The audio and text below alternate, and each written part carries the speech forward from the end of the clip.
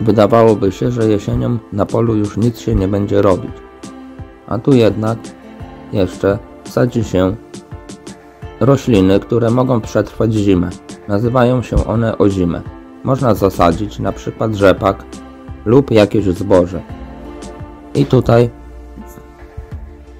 akurat jest na tym polu pokazane jak już po zasadzeniu, po około dwóch tygodniach, jak roślinki wykiełkowały, przejechała maszyna, która opryskuje tą, to pole, te rośliny, która opryskuje te pole i te rośliny. I tą maszyną tutaj w Wielkiej Brytanii jest tak zwany Batman.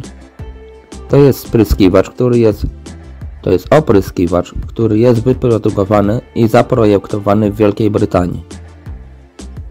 Na tą chwilę prawdopodobnie na tym polu jest zasadzony rzepak i oni opryskują to specjalnym nawozem azotowym na jesień.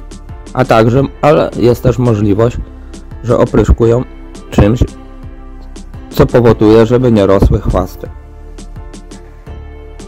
Tutaj na filmie przedstawiam jak taki samobieżny opryskiwacz Bateman jeździ po polu i opryskuje.